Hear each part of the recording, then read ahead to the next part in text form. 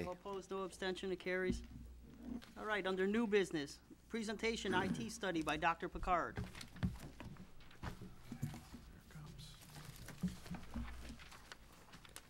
It's this page over here.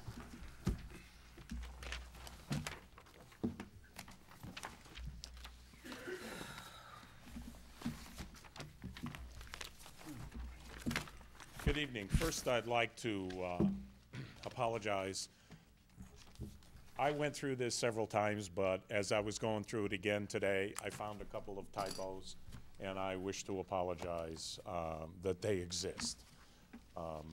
As you can see from this, I've tried to identify uh, a variety of different things. Obviously, the, the town background, you folks know better than I the town background. But for anyone who might read this, um, I wanted to include that. I broke down the investigation after um, many, many hours of discussion with um, representatives of all your departments and even your support staff uh, into various departments and specific issues that were raised and how I would propose that they be addressed. So if you want to follow along, I'm going to start with the IT department itself. Uh, historically, it's my understanding that the IT department was, for all practical purposes, uh, in a silo arrangement. There was a lot of separation between the staff, separation that was based on their job duties, but in addition to that, separation that prevented them from really interacting and uh, sharing some responsibilities and, and certainly sharing some knowledge. So, to deal with this, it seems very logical that as you move forward, that the new director, and you'll see later on, I do recommend that you hire a director, uh, that this person has as a key responsibility to foster cohesiveness and collaboration within the department, but even more so, uh, collaboration among department members in other departments. Uh, one of the things that I found in the discussions with people is, for all practical purposes, uh, their concerns and issues were expressed, but uh, not always with everyone in the department. So, therefore, this concept of silos continued.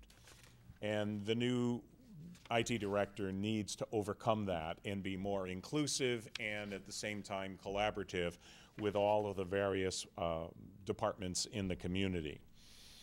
The director needs to instill in the department that they are a service organization and that their clients are the people who work for the town and the town council. They need to understand that what their needs are need to be addressed. Now, that has been done to an extent in the past, but I felt that it was important to emphasize that in the future, that everyone who works in the department needs to understand that their clients are the people who work in the town.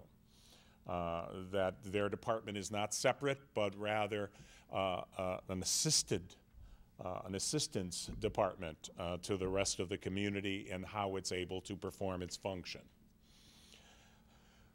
The second item that I addressed in the IT department is that the department needs a new director.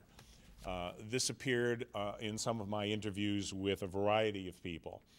I have recommended to uh, the town manager, and I'm recommending to you that John Novakowski be appointed to that position.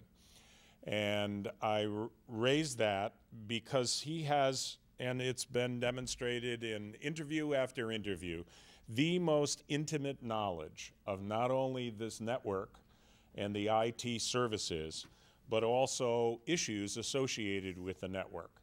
I mean, I've had a number of discussions with John, and when I've raised things that other people have raised, he's aware of these things.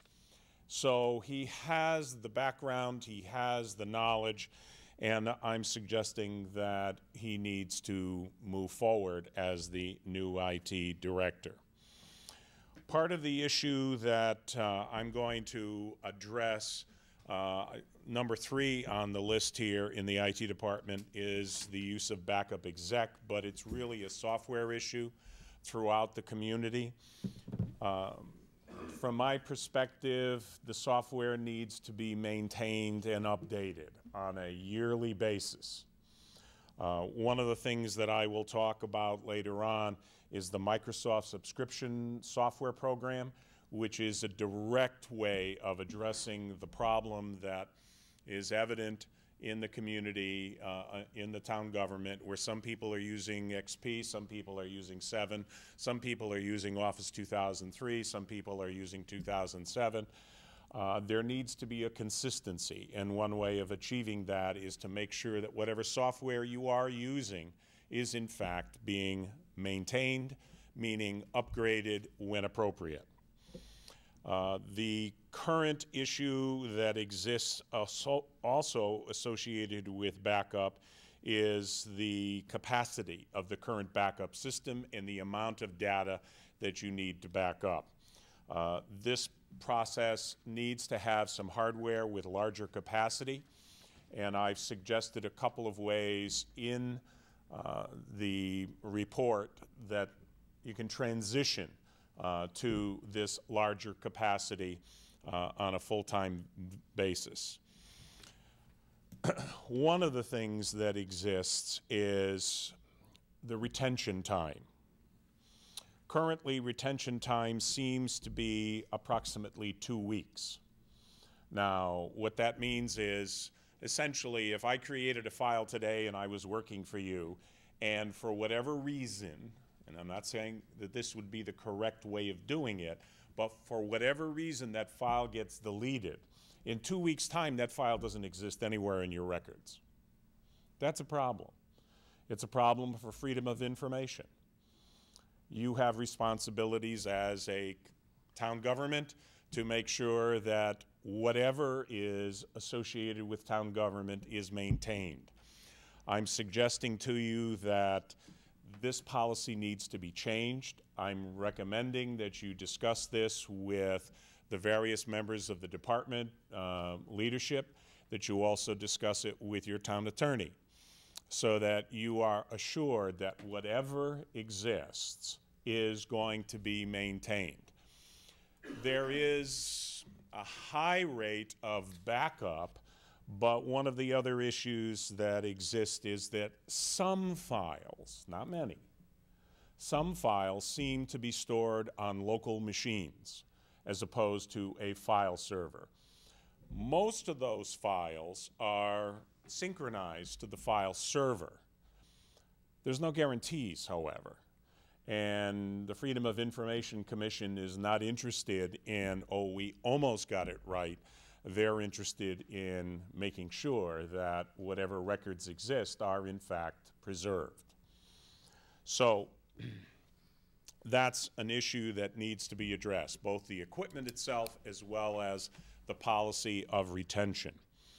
In addition to that, there is no tracking program that exists. Time after time in the interviews, I was told if we have a problem, we call John. Well, that's good. And you're calling somebody who has knowledge of the issue and how to resolve it. There are two issues with that. One, he's only one person. And second of all, there's no documentation other than what exists in his mind.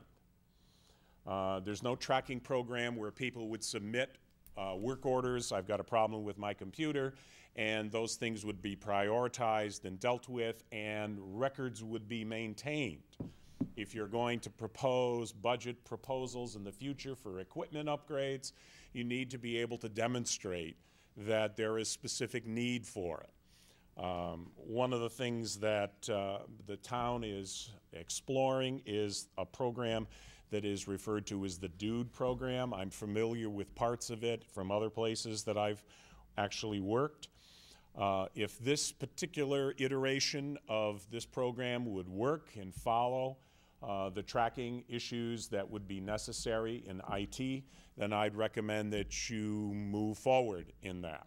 If not, I would suggest that you look into another tracking program. OnTrack is a very common one out there, but you need to maintain some kind of documentation as to what's been done to computer A, when and who did it, and what the issues were that were resolved, so that if they keep on cropping up, you'll have a history, as opposed to, oh, I remember working on that particular computer, and we dealt with X.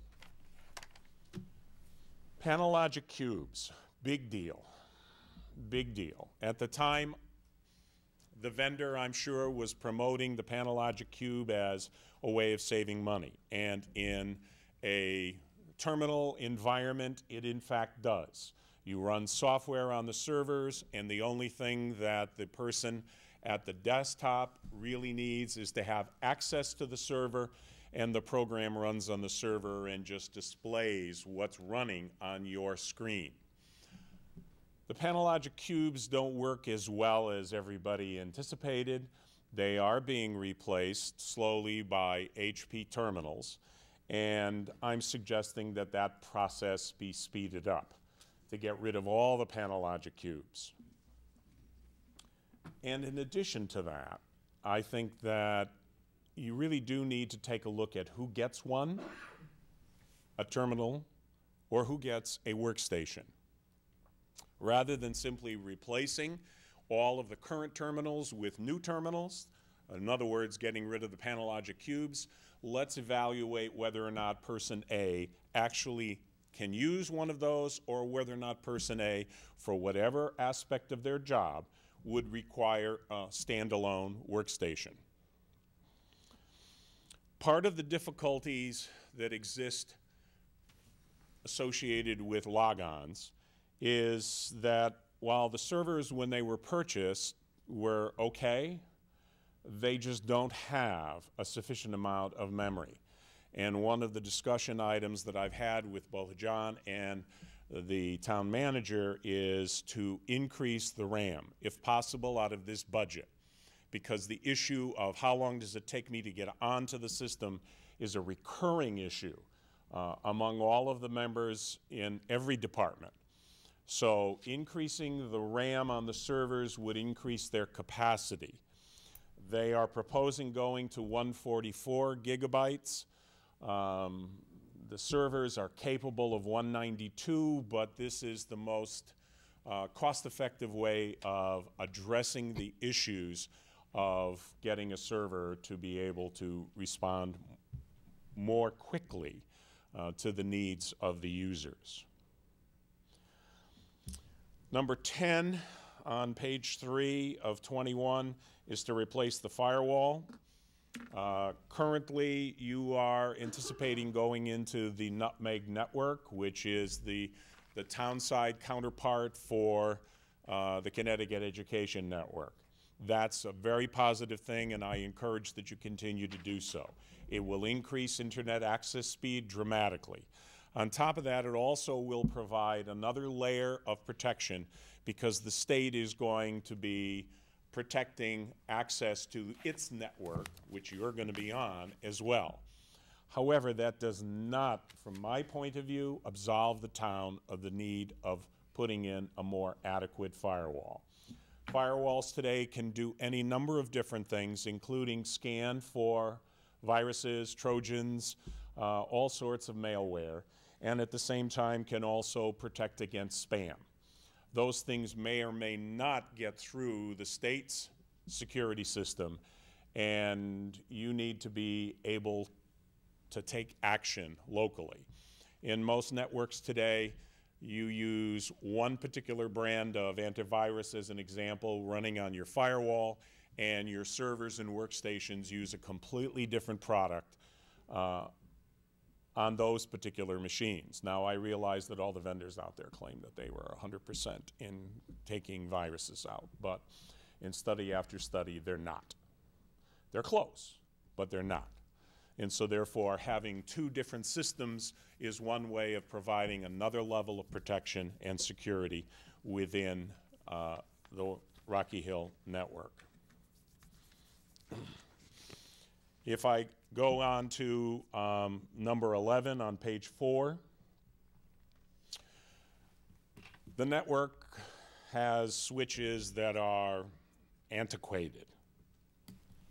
Has some newer ones, but they also have some that are very antiquated. In fact, today you can't really buy a switch that is 10100. I don't know if you're familiar with those terms, but usually when you plug into your home router at home today, you are running, if you have an old router, at 100 megabits per second. If you have a newer router, you're running at gigabits per second. If you have a newer computer, you're running at gigabits per second. You've got switches that are running at 10100, and you have switches that are running at 10, 100, 1000. I'm suggesting to you that all those old switches and slower switches need to be replaced. On top of that, when you do begin to replace them, reposition the current higher speed switches uh, associated with some of the ports connected to the lower speed switches. Currently, there's a process in Rocky Hill where if I put a jack in the wall, then I expect to have that jack patched to a switch port, which means all I have to do is plug in a computer and I'm on the network. You don't need all those ports uh, at any one particular time. I'm not being critical of making sure that all of them are alive. There are all sorts of debates associated with IT professionals as to whether or not you should or you shouldn't. But the current policy is that that's what people want. If that's the case, then the ones that are actually being used need to be plugged into 10, 100, 1,000 ports so that you can take advantage of the higher speeds associated with these newer switches and the older ones just being phased out. In addition to that, um, you need to, from my pers perspective anyway, standardize on a particular brand. I am not here to promote a brand. When I mention a particular brand, it is because that's what you're currently using. And therefore, it makes sense to continue to do so because what you're currently using is a high quality product. Specifically, Enterasys switches. That doesn't mean that there aren't other high quality products out there, but the Enterasys switches need to replace the ancient Dells and, again, to eliminate all of those slower ports. I might point out that some of the computers that are running on the system are only capable of 10100. And that's because they're so old that they don't have the NIC cards, the network interface cards, to be able to connect at the higher 1000 speed. One of the other issues that comes up, number 13, is that the fiber connection that exists between the town hall and the police really can't support the bandwidth necessary. You currently run four servers in a cluster. Things are duplicated between the servers. And if one server is busy, you log on to another server. The servers, frankly, don't care which one you log on to, and the user really doesn't care which one they log on to because the data is duplicated. And therefore, whatever is available, I should be able to connect to. Well, the problems that exist is that the speed between the police, where there are two servers, and town hall, where there are two servers, the fiber connections are not up to snuff. They're old. Now, I've recommended in here, and this is an, an opinion, I, I was in a quandary as to which way to go. I made this recommendation of aggregating ports. It's a way of taking multiple ports on a switch and making the switch and the computers connected to it believe that it's only one. So if I connect, as an example, two one gig ports, I now have two gig in bandwidth. There are some issues associated with that. The long-term proposal, as you can see from the report, is to replace the fiber. The most ideal situation is to replace it now. That way you can put in fiber that is capable of 10 gigs and beyond. Because in 10 years, 10 gigs are going to be viewed as slow. Because people will be using 40, 100, and even faster gigabit speed connections. And the demands on your network are going to increase. So you can do one of those two things, but eventually you have to replace that fiber. The fiber is not capable of serving you in the future.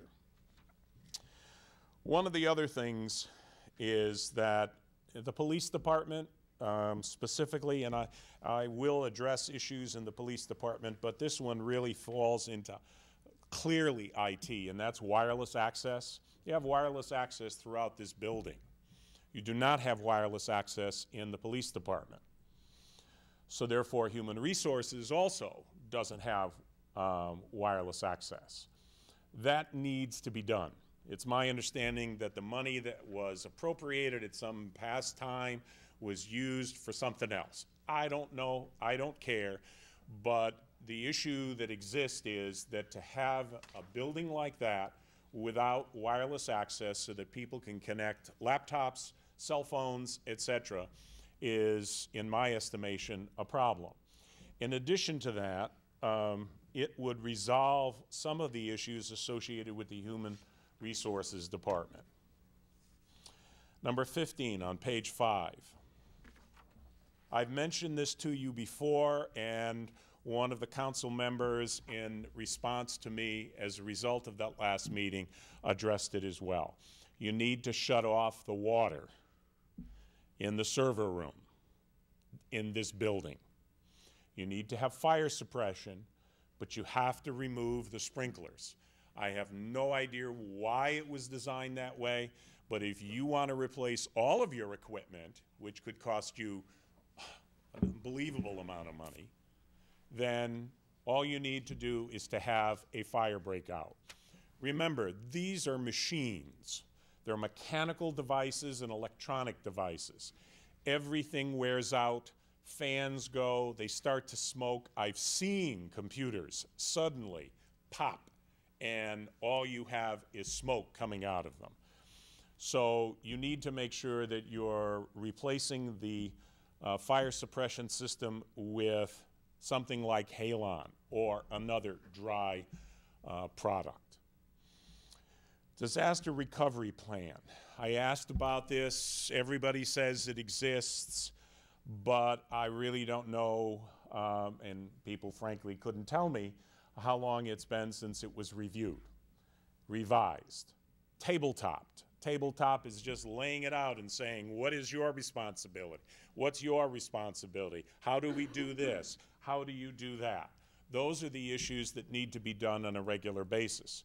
I know that most communities don't have emergencies that would necessitate using a plan, but you want to make sure you have it and you want to make sure that it's up to date and that it's comprehensive and that it's been tested. Um, number 17, the website. Time after time, people suggested to me that they don't necessarily have a problem with the website per se, other than it takes time to have it put up. And in many instances, the items that they want put up are not put up in a manner that they want to present to the community. So, therefore, my recommendation to you is that you accomplish two things. One, you get a website system, not just a person or two people, but a system. And that system would enable you to distribute the management among the various departments. So if the town clerk needs to put something out, someone in the town clerk can do it. And it's not difficult. These systems are virtually foolproof. Yet you have the option of being able to design it, to accomplish your task, at the same time, put out your material in a manner that you would like it put out. as opposed to giving it to someone else who will make those decisions for you. I have a preference, but I'm not going to raise anything. I mean, if people want to ask what I would like uh, or which ones I recommend, um, I'd be more than happy to do that. But my role here is not to promote a particular brand, uh, et cetera. Training, 18 uh, on page number five. There really isn't a training program. Uh, there isn't a training program for IT. There isn't a training program when you hand out new software for uh, staff. Um, there are some training courses that have occurred on a catch as catch can basis.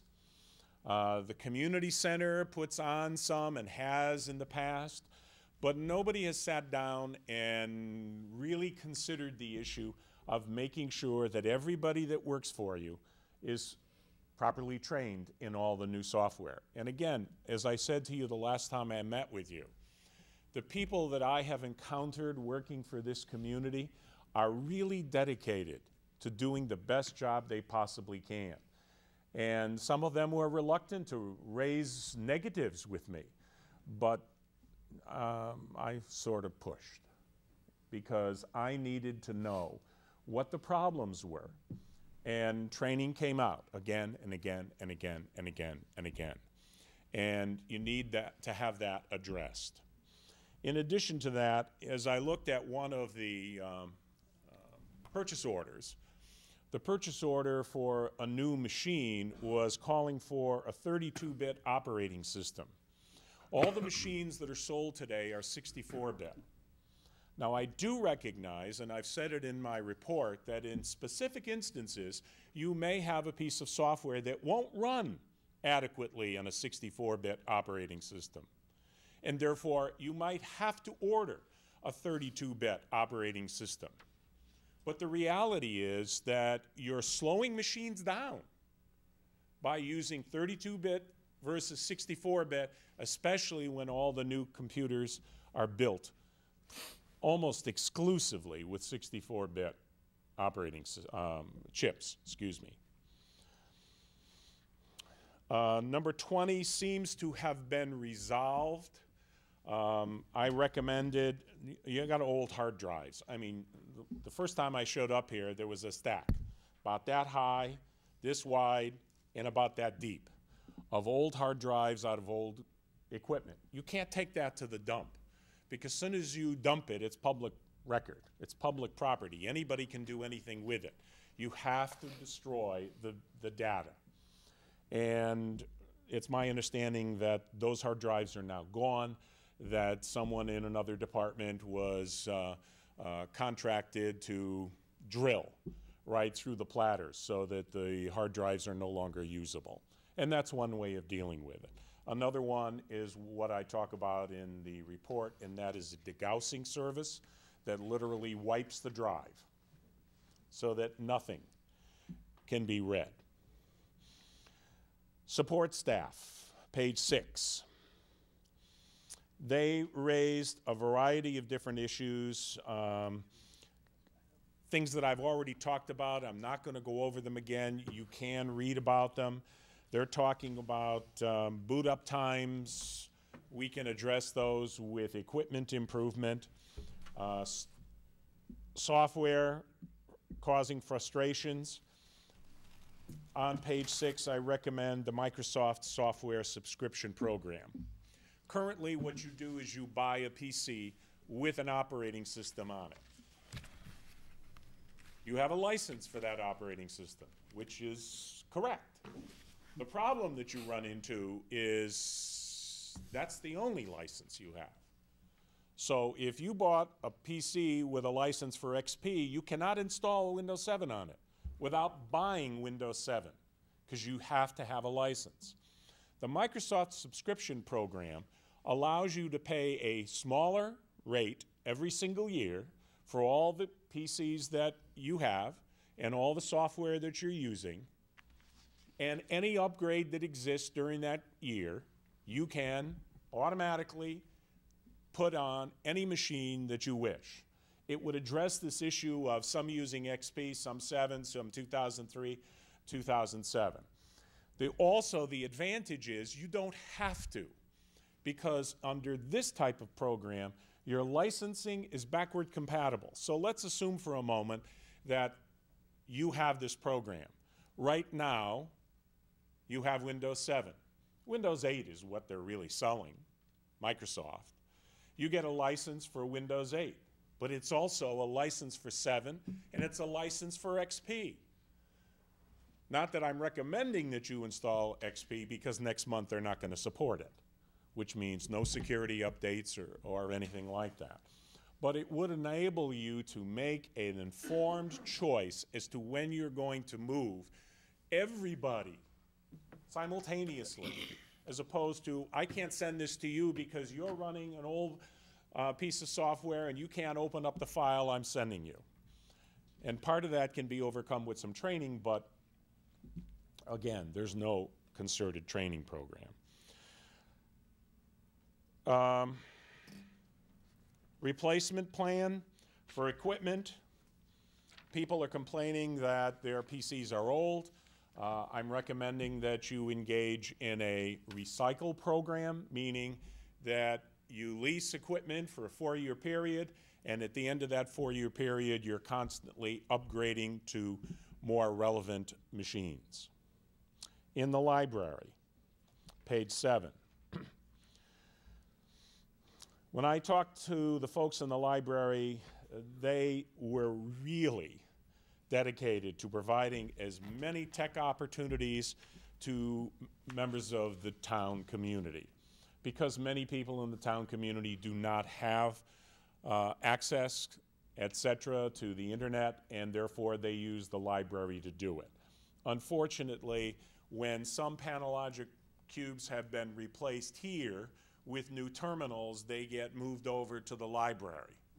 So the issue there is that they really don't have as much of the newer equipment as is needed.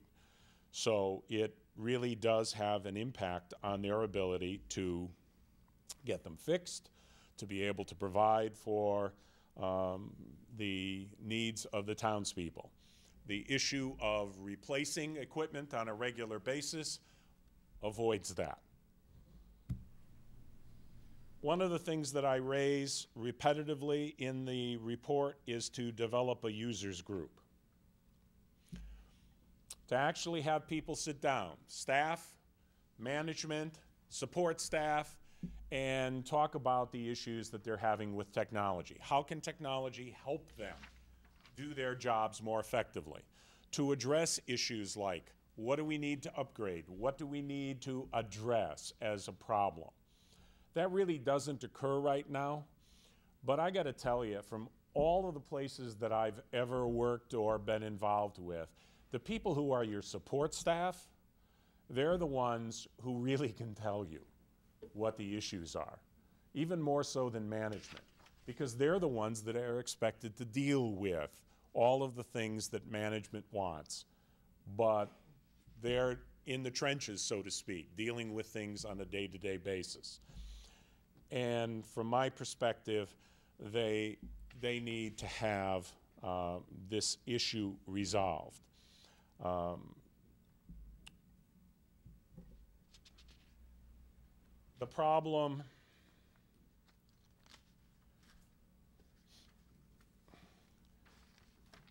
I'll get into the police, page eight. And I've said this to you before that currently you have, uh, by my count, uh, four, it's four or five, uh, officers who are doing part of their job managing IT. Now, you're never going to eliminate the police involvement in the implementation of IT completely because these are the people who are dealing with it on a day to day basis. And at the same time, you do need to recognize you're spending an awful lot of money to have people work on IT when if you hired someone who had some experience working with emergency services, police, fire, et cetera, and had them working in the IT department, that many of those issues would be resolved. So I've recommended that you hire someone sp- with specific knowledge and background in emergency services to assist fire, police, EMS, et cetera.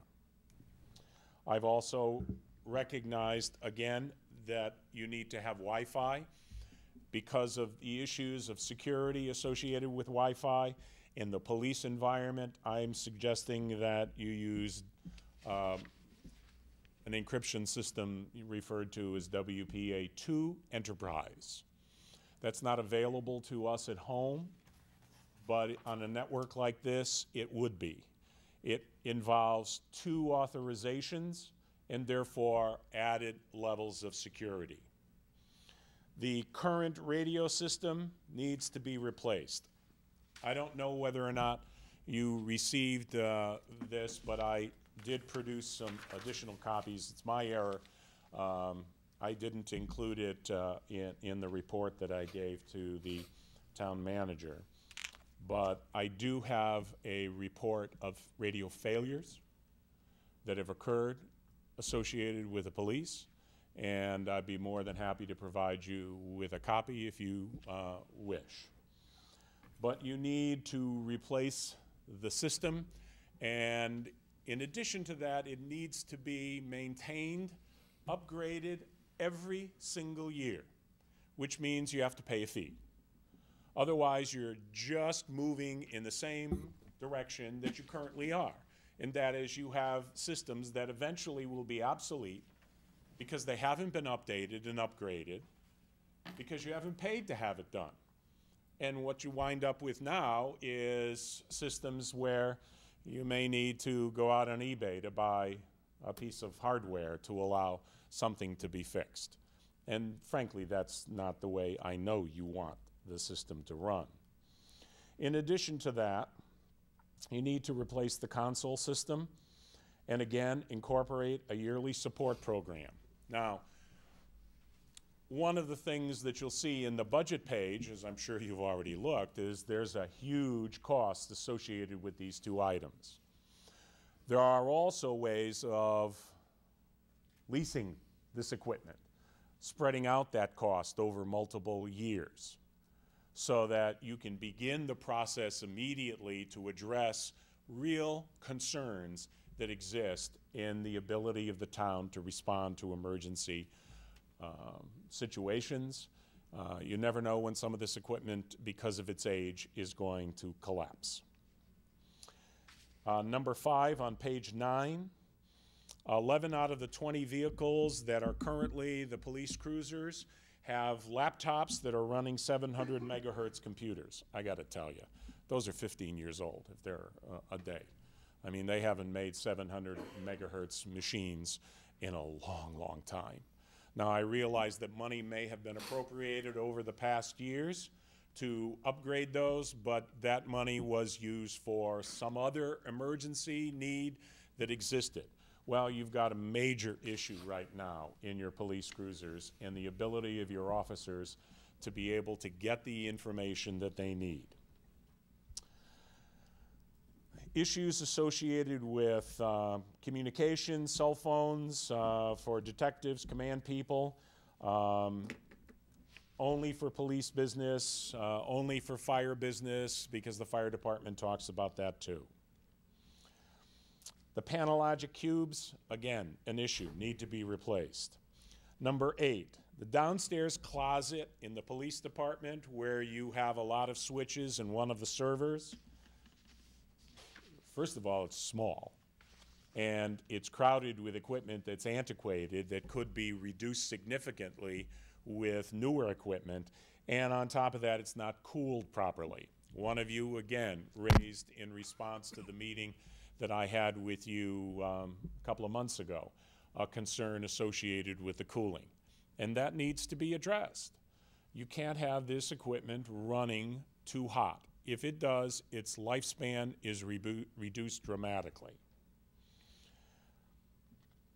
Um, the issue also of uh, quotas was raised, meaning email quotas, storage quotas.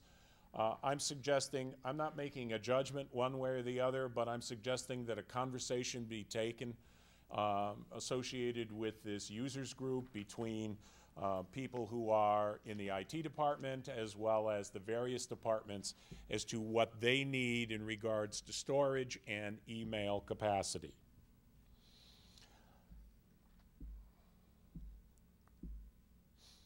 There also appears to be an issue as to whether or not the police are able to install uh, pieces of software because they don't have administrative rights.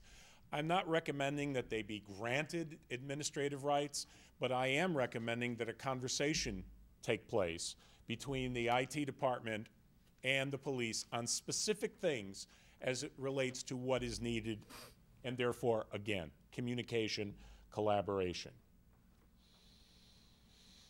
Uh, again, the- licensing issue for um, Microsoft, the Nutmeg Network. Um, I'm recommending that you can continue to implement the radio tower, radio system that are already in process. Uh, It will save some money as it relates to saving some telephone lines. It will save some money uh, as it relates to connecting to, as an example, the police, uh, the the fire department uh, down the road here. Um, Currently, Cox seems to have some problems with that particular connection and line. Um, Eventually, those things could be resolved. Um, You have generators, but there's a time lag. And anything that's of critical nature, you really need to look at whether or not you're gonna put an uninterrupted power supply. You need to review the batteries that currently exist, whether or not they need to be replaced. The uninterrupted power supply is not gonna replace the generator. It's simply going to stay on, the computer's gonna stay on, because the batteries and the UPS will power it until the generator kicks in. Therefore, any work that you're dealing with won't be lost. That needs to be dealt with on a case-by-case basis. Um, let's see here. Again, I'm not interested in uh, going over a lot of stuff multiple times. But if we go to page 11, the tax collector, they wish to integrate, and I'm going to deal with number four because one, two, and three, to an extent, I've already dealt with. Uh, number four is they wish to include the point and pay system into the current website or with the new website to allow people to pay in um, taxes, et cetera, uh, across the internet. And one other thing that somebody said, uh, and I put it on number five, um, IT would be improved if you could clone John Novakowski. Again, one person, you cannot run a department of this size, a network of this size, with only one knowledgeable person. Uh, the fire department, um, older machines, uh, they had a server there that they showed me that sometimes um, collapses. I haven't seen those kinds of servers in oh, at least 10 years. At least 10 years, and it's still running there. Um, those things need to be evaluated and replaced. Um, in that particular service case, replaced. Also, um, again, the policies as it relates to permissions in creating lists, that, that was an issue that they raised associated with email. Uh, again, having this conversation, collaboration, cooperation, uh, to be able to establish a policy that will satisfy their needs. Um, number eight, on page 12, their concerns are that they really don't have access to the firehouse program, which is what they use to track volunteers' uh, actions, activities, etc. and they need to be able to do that. Um, again, sitting down and having a conversation to make whatever policy changes are necessary to facilitate their jobs. The assessor, um, they appear to be on more of a cutting edge as far as equipment is concerned than some of the other departments because of the software that they need to run on it. So therefore, they get newer equipment. Um, those things need to be part of a constant replacement system. Um, they also talked about the website issue, uh, their ability to put information presented in the way they wish to present it. And they would also like to be able to have uh, uh, some of their vendors have network access through a virtual private network access point.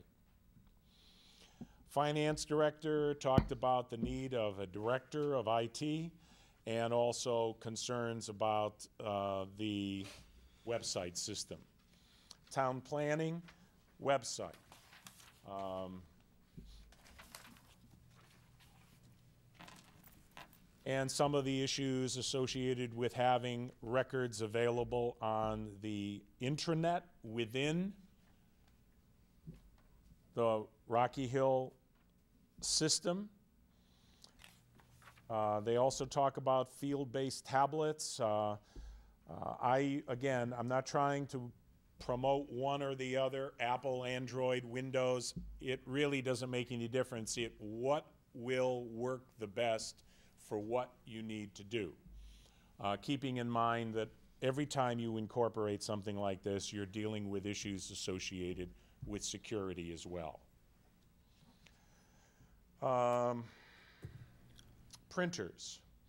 I believe that some of the printers are really old, some can be replaced, and you can focus on replacement in a more organized fashion and also with service companies that will be able to address them. Again, I have my preferences, but I don't address what I believe you should do because there's more than enough choices out there.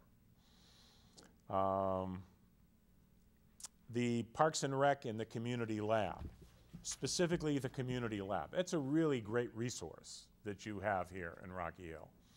But it really is based on goodwill. Goodwill associated with the director of the Community Lab and his ability to get companies to donate equipment. If you wish to continue that kind of a program, you need to incorporate that program so that there is a refresh rate in keeping with the rest of the community. Therefore, you can use that facility to help you train some of the people who work for you. Um, uh, talks about training and so forth. I'm not going to repeat other things that I've already talked about. Town engineer, page 16. Currently, they're using AutoCAD 2008. They're using AutoCAD 2008 because their equipment won't support the newer versions. It's just that simple. So they stop paying the support fees that would give them access to the newer version. Um, again, a replacement policy, a replacement system would take care of that issue in the long run. One of the issues that um, came up in the town engineers department is their ability to load um, pictures, uh, specifically pictures of the community. Uh, that's an issue of uh, both equipment as well as the fact that some of that is loaded on local machines. File synchronization. So if I know I have it on this machine, I can't go to that machine to pull it up because I don't have any connection directly to that hard drive. It's not stored on my file server share, so I can't get access to it. That needs to be resolved. Uh, some people also raise the issue that they are concerned that JPEGs are not available to be inserted into email. Um, There are some reasons for that, but also this is an opportunity to sit down and say, why do you need them? And how can we resolve to fix it so that you can do your job? That's really what it comes down to. Um, They also talk about having Android machines, either phones or devices, pads, so that they can run people forms, which is available to run on Androids. So ultimately, you may wind up with a system that has some Apple and some Android, and your IT department is going to have to support those at the same time providing a level of security. Town clerk, um, I mean, frankly, the town clerk's office, they just take care of everything. I mean, they're governed by statute, and they're very dedicated to making sure that they comply with the statute. So they use Iron Mountain as a storage facility. On top of that, um, they feel that they would like to have some staggered schedule for the IT staff so that if they come in early, there is no IT around. If they stay late, there's no IT around. You can either do that with a modified staggered schedule or some kind of rotating um, system of on-call. So if I do have a problem, I know I can call someone to resolve it. Human Services, again, Wi-Fi, um, equipment being replaced on a regular basis. Um, one of the things that came out on this is privacy. And I noticed it when I was in that particular department. In many instances, people who come to the window have some very specific personal things that they need to convey to this department. The equipment that they have in certain locations is so old that they can't use it effectively to enter this information. So therefore, they're interviewing people in an open area where other people, visitors as well as other staff members, can overhear some of what they're saying. That's, from my perspective, inappropriate. And the way to resolve that is to deal with equipment so that they can take people into a location where they'll be able to have some privacy and enter in the information into the records that would be necessary. I also address some of your concerns. I address those on page 19 and 20. Um, Number five is backups, and while that is an issue, I want to emphasize to you that, that you have four servers that are running in a cluster. And the systems themselves are synchronized, and there are multiple copies of the data. They use what is euphemistically referred to as RAID 10. RAID 10 doesn't technically exist. It's RAID 0 and 1.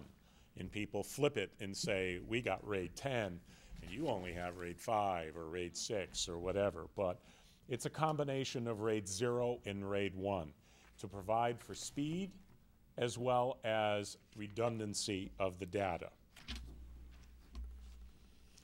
Um,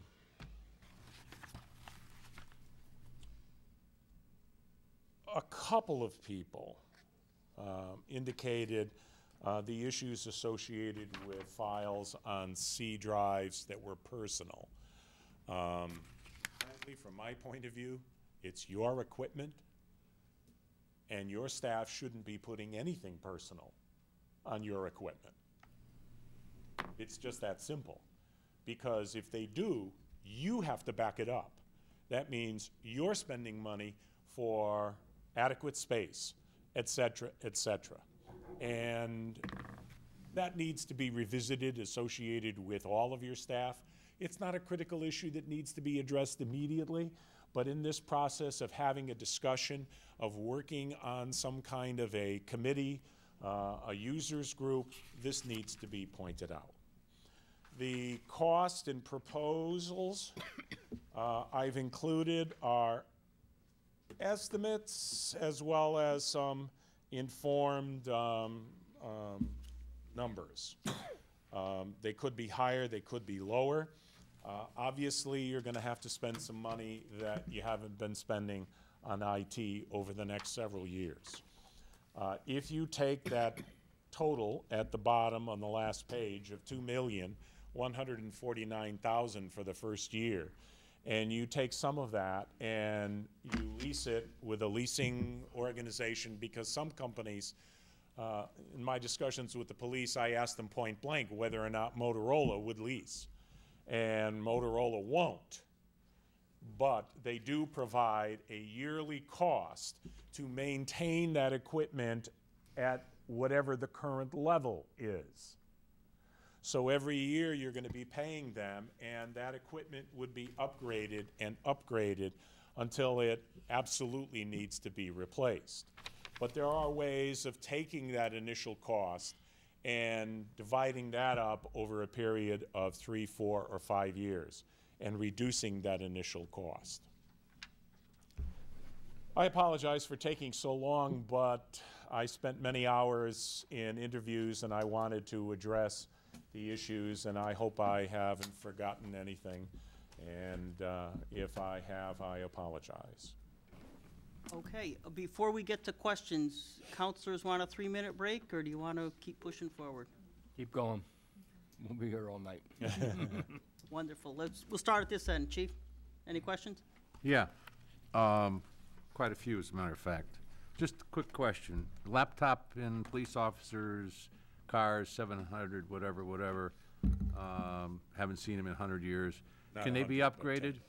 Can they, no, So you can't, they gotta be replaced, replace them. okay. Um, you say that, uh, police officers, four to five, uh, individuals equal one person on No, IT. actually equal more than one person. So there's more than one amount of time. person doing IT work, and you recommend That you hire someone who can deal with the vast majority of that. Okay. Therefore, the amount of time that police officers would be spending would be more advisory, as well as some maybe nitty-gritty issues that only they would, would need to address. Um, big corporations have uh, contracts with help desks. Yes, they do. Uh, what's your thoughts on those? The issue associated with help desks is where are they located? Obviously, how much are they gonna cost? Um, But it's certainly a viable location, if, a viable solution, I should say. If the location, however, is in a country where people speak English but not very clearly, Assuming that that's not the case, yeah, then that's something that can be addressed. it's it's a viable. It is a viable way UTC and the of- rest of the big corporations do that. Yeah, absolutely. Okay. Uh, in your um, just a side comment here, you're saying the library has the oldest equipment. They have a lot of old equipment. I wouldn't say the absolute oldest, but they have a lot of They have a lot of it, okay. Um, I was looking at the figures that you put down here as far as year one, year two, year five. And, uh, year one, or the current year, we could get away with sixteen thousand dollars, and that would put us close to what you're saying would be a good start, correct? Well, it would allow you to upgrade the memory Yeah. and also, from my perspective, um, promote to a uh, technology director. And that's based on uh, the remaining months of this fiscal year. Okay, so that'd be the ten thousand. Yeah. Uh, then we go on to year one, or whatever you want to call it. Um, that one there is uh, two million one hundred forty-nine thousand dollars, which um, that may not be totally true because I think the council and everything else uh, would be worth uh, one point seven million with all the other things you got added in there because I believe that we've got money set aside for the radio already. Yeah, it's my understanding too. So that's that figure's a little bit high. It is, but I wanted to present what I believe from my discussions with people, the cost would be. How you fund it. Right. That's your bailiwick. Correct. So then we get into, then we, we hire uh, uh, an additional IT staff person, and we get a director at eighty-five thousand, another one, and then we go to year three, which would be 2016, 17. Mm-hmm. Uh, That, those, that 85,000 times two doesn't get carried over into those other figures you got. So No, those are new dollars. That's right. Yeah. So a reoccurring forever and ever dollar would be $170,000 more Correct. onto the numbers that you have today. Yep.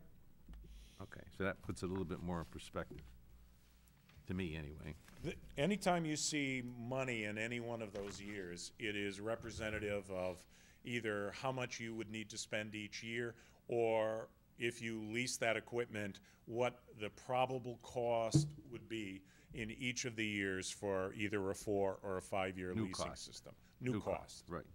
Okay. We're presently running on um, multi-mode?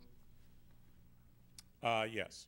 We are. And there's a problem with that because they're not terminated or there were loss of It, the, there are several qualities of multi-mode fiber, and they didn't put in the best quality. So therefore, there is a lot of loss of signal associated with bounce Right. within the, uh, the fiber itself.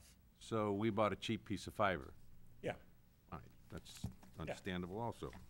So you're recommending we go um, single mode single mode? with a higher quality single mode. Absolutely. And the equipment and to back it all up, would that need to be replaced to a higher grade too? Yes, Okay. and that's Is part of that the in here for the proposal. 20 grand? Uh, It's probably going to be a little more than that, um, but at the time of these figures were produced, we didn't actually have a bid per se. But you do need to have two switches, one there, one here, capable of that kind of speed. Okay. I'm all set. Thank you.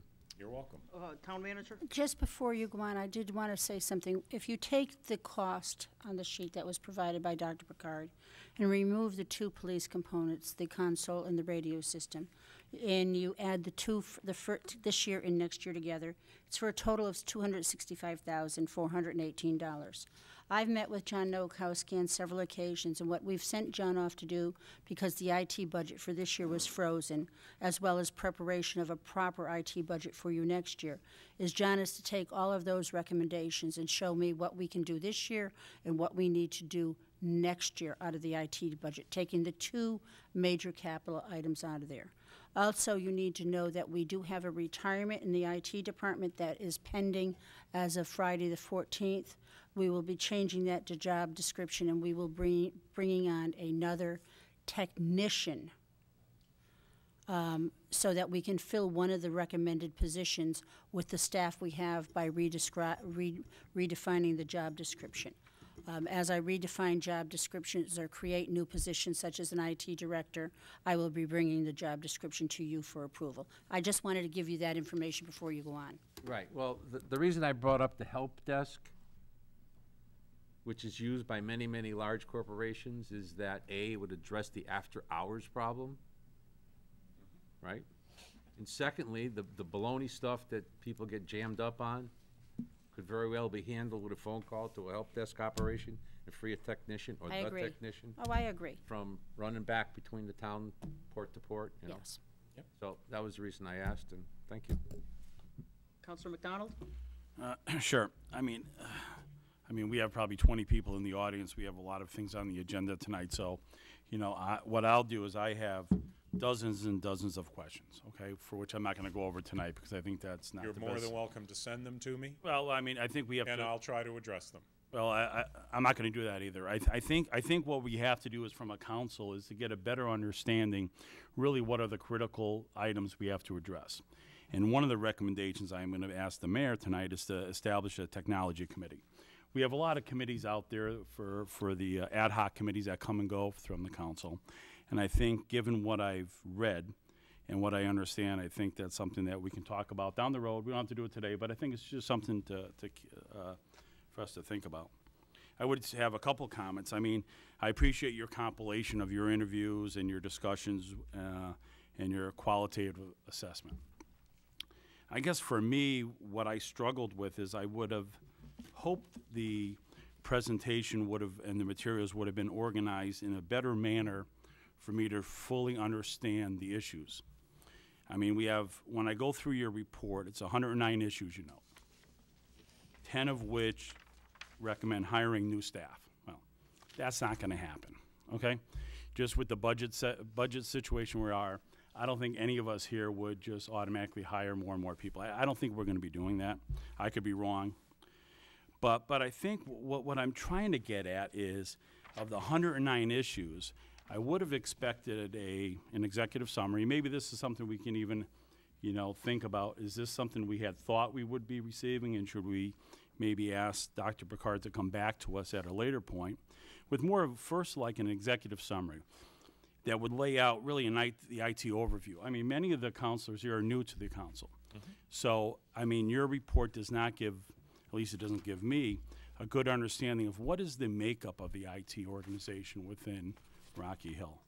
You know, the functions, the training, the systems, even then when we look at hardware, user profile, I mean, there's a lot of training. You can go through a list of some of the key components that your report was more laid out by, okay, I talked to Stu in assessment, and assessors, here's what I got from Stu. Or I talked to Lisa in Park and Rec, here's what I got from Lisa.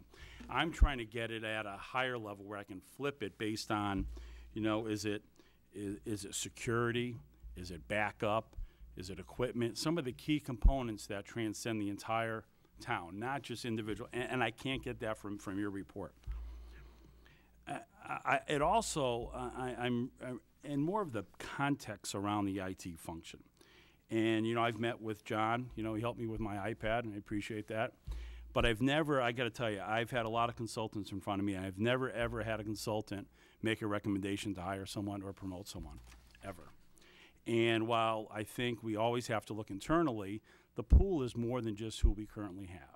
And I think the taxpayers would want to have the best qualified people in any position in our town. So, so I appreciate your qualitative assessments in, and your opinion, but, but I think we really need to, to look at any department and making sure we have the best qualified people. I'm also, I know I talked to you once in the hallway, and I don't know if we followed up or not, but the, the external auditors that perform the audit on the financials and the town, they have an obligation to identify significant or even material control deficiencies. I mean, Guy would know this. From what I'm hearing, you know, from some of these issues, these are big issues that you've laid out to us. And for me, I'm really surprised when I read the auditor's report, and that page is totally blank.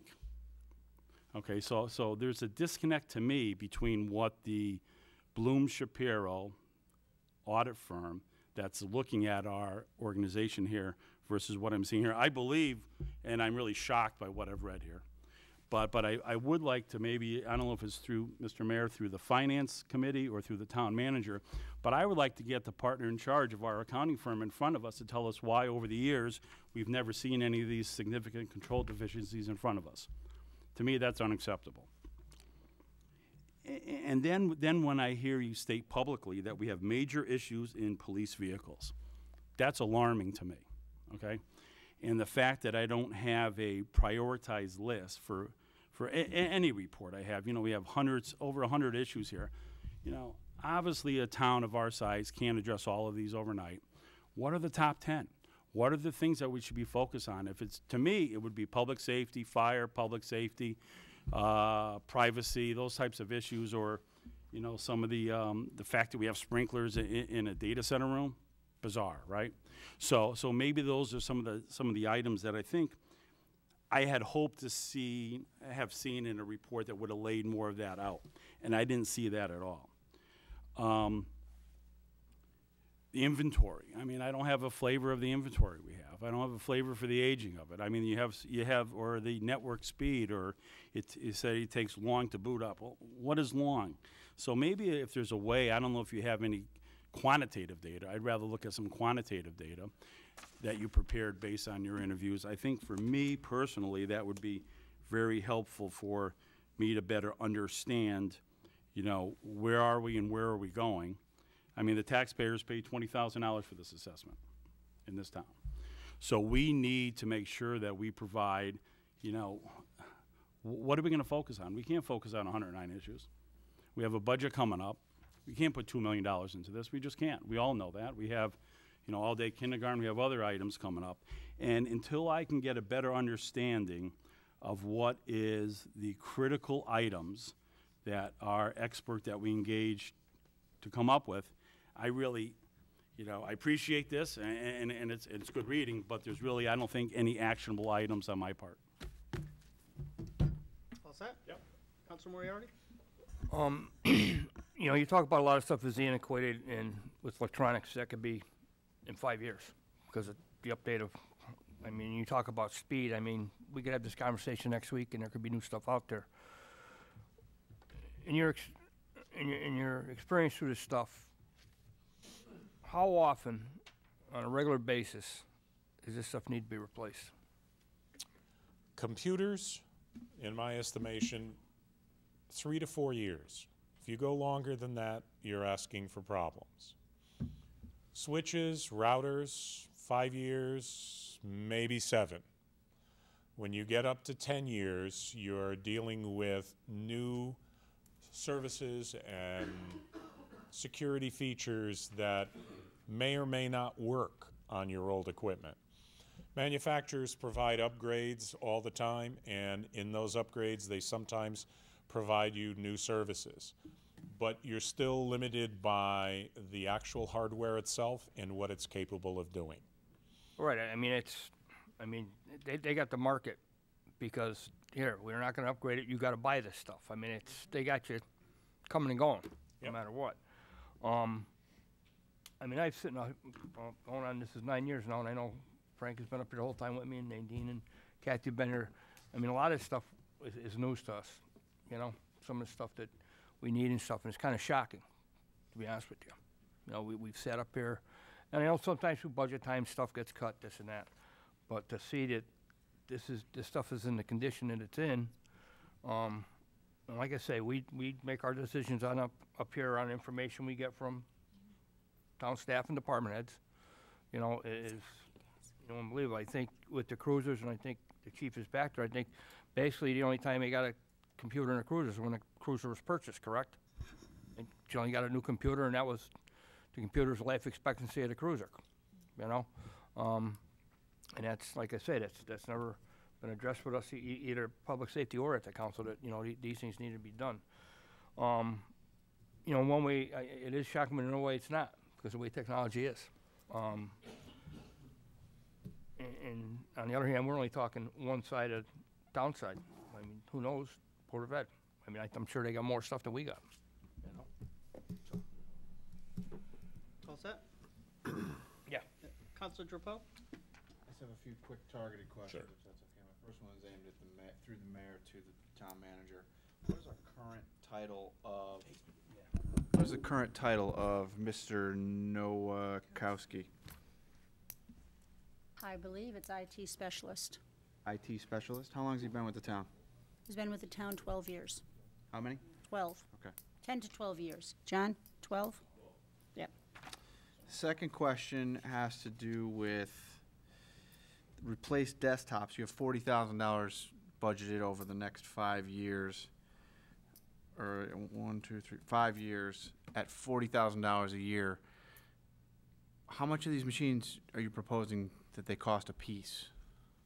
Uh, they're going to cost you roughly uh, $1,000. Okay, I was, I was coming in at about eight hundred, so my numbers would have been at fifty a year over the next five years. You're looking at two hundred and fifty new machines over the next five years? Well, you've got about 200 desktops, And you're telling me, well, yeah, okay. and some of those are terminals, so there's a lower cost associated with those. Is it possible that some of these units that you're recommending could be, uh, come, could be lower ca- caliber machines that cost may possibly less than a thousand, like say five hundred? For, com- based on their, what their use could be? Yes, they could be. That's but- enough. That's good, Okay. thank you. Uh, laptops for the cruisers, you have ten thousand a year over the next five years. How many, how many laptops are you thinking per year? Well, you have uh, 11 immediately that need to be addressed. Okay, so. But I'm suggesting that in a leasing system, that would be your cost on a yearly basis to replace all All of them. eleven, okay. So ten thousand a year for eleven, so we'd be paying a nine hundred dollars a year for a lease on a laptop? Well, you have other laptops as well, but um, yes. Uh, finally, uh, I- through the mayor to the town manager, I know we're not, this is just an analysis. I'm sure, Mr. Mayor, that the, the town manager can find fifteen thousand dollars to get that fire suppression system immediately removed from, without any further ado. The first thing I will do is, I've already, we will consult with the fire marshal, find out what we have, have to put in that, uh, building, and then we'll go from there. I agree. I, at, le- at the very least, shut the water off. Oh, no. Believe me, I will be consulting with the fire marshal tomorrow morning. Okay. That's all I have. Deputy Mayor Bell? Yes, I have many of the same questions that have been asked down this end of the table. I'm not gonna repeat them. I guess I'm just like totally blown away that we are where we are. Um, when I was new on the council a couple of years ago, I sat here and listened how the Pano Logic cubes were going to solve all our problems. And, um, after an extensive array of questions, we, we were told with all certainty that this was the way to go, and, um, I don't know, I'm just floored by all this. So I'll just A little rest move on along. Florida, okay. Uh, Counselor Vargas? Um, Thank you for your report. Um, I guess ditto. Um, And I- I guess I just, from your report, I, I'm, I'm not receiving much guidance, I think, to. Much what? I'm sorry, couldn't hear Much that. guidance as far as next steps in, in, to what uh, Counselor uh, McDonald was saying. I really don't know where to go with this next. Um, I'm not sure, as Counselor Bell said, I was, that was when I was first on the council, and this Pano Logic cube presentation was presented. I was even on finance at that time, and it was gonna be this wonderful thing over three years. It all worked, everything fine, we were able to do this. And, you know, I'm relying on the expertise that's being presented to me as I'm relying on your expertise. And I'm getting all of this information, there's a lot of words here, and then I look at the numbers at the end, and the numbers are alarming. Uh, Some of the words that you used were alarming. And I just, I guess, maybe a little gun shy on when I hear words from experts, because I thought I was hearing words from an expert before. And who's to say that what, you know, I know you have to trust at some point, but I'm a little bit concerned if we do some of this stuff, that it, we're gonna be in the same situation.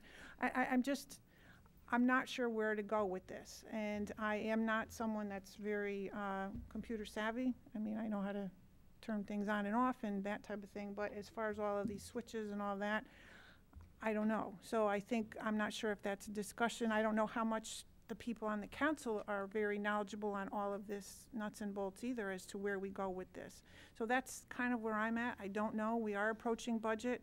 I know this was a big thing, the twenty thousand dollars. We are waiting on this study to see how this is gonna fit into the budget. Um, I, I think we have to do something. I don't know what, and that's kind of where I'm at. Town Manager? I just want, if you, you know, those of you who are really um, distraught over the fact that we bought the Pano Logic cubes, we are not replacing the Pano Logic cubes with full computers. Pano Logic is no longer in business. We are replacing those cubes that are now worn with Hewlett-Packard cubes. So we are still keeping the cubes, but we are going to a different brand because Pano Logic is no longer in business as we replace them. And the I- reports that people gave me were that they do work better than the Pano Logic. Yes, and that's it. But we're staying with the cube system and that, that virtual network that you did approve. Counselor Zaps? The, the first thing I looked at, of course, was the dollars and cents. Sorry, Frank. It's, it's a piece of cake. Gas was, was entertaining. It's a piece of cake when, if you've got the money to do it, you can fix it. I'm confused on the cubes. I thought they were the cat's meow and, but, anyway. Um, I do support creating a committee to assist the town manager in wrestling this dinosaur that we have here so we can get this into a, a situation where we have a best IT program for the town. I'm not going to repeat everything that's been said. The report's an eye-opener. Thank you very much. It's, to me, it's a, a, a beginning point, a starting point for the work that we have to do. And I even think we should sit down and discuss the makeup of the committee. If it's going to be members of the council, members of the uh, staff. But I believe the town manager needs some assistance in, in getting a hold of this for future council purposes on how to handle this going forward. Thank you, Mayor. Thank you. Uh, Counselor Casasanta. Thank you. Um, I want to thank you, Dr. Picard, for your report.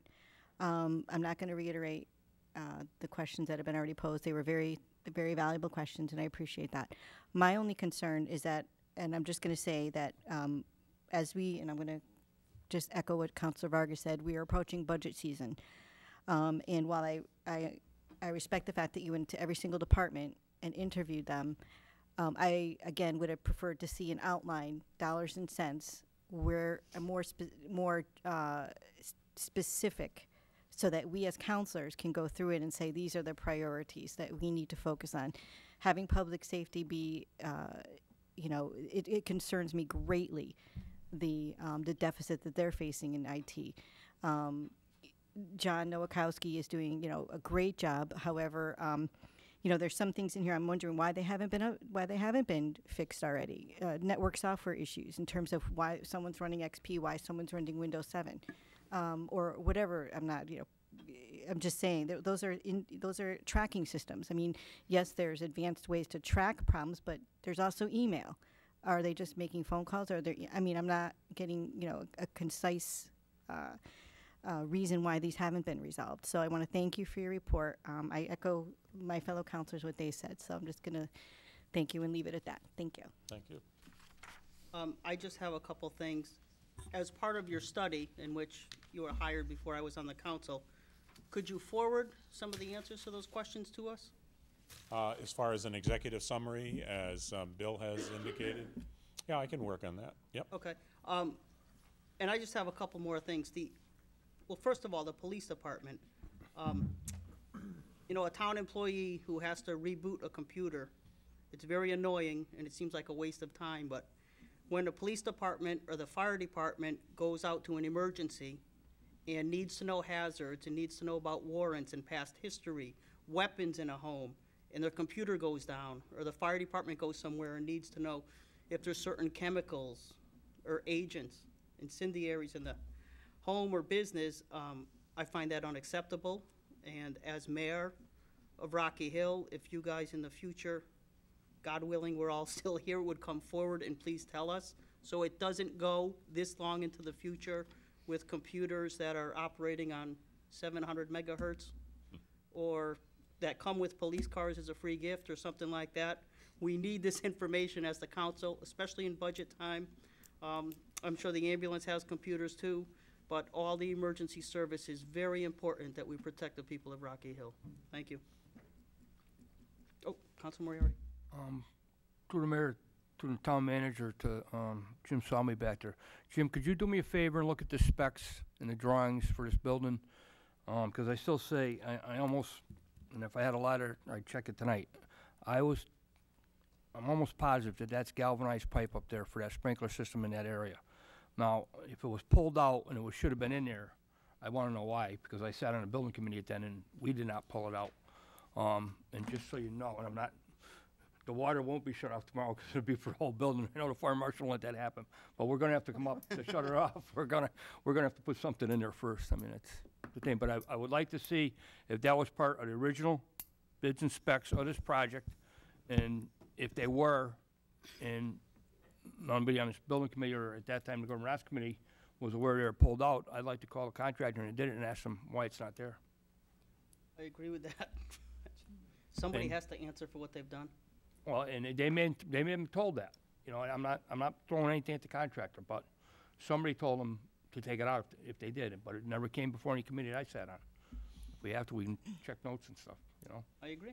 So, but I'm almost positive from, through walkthroughs that I remember that that was, and I could be wrong, I mean, I could be wrong, but you're, we're talking, what, 10, 12 years now, so.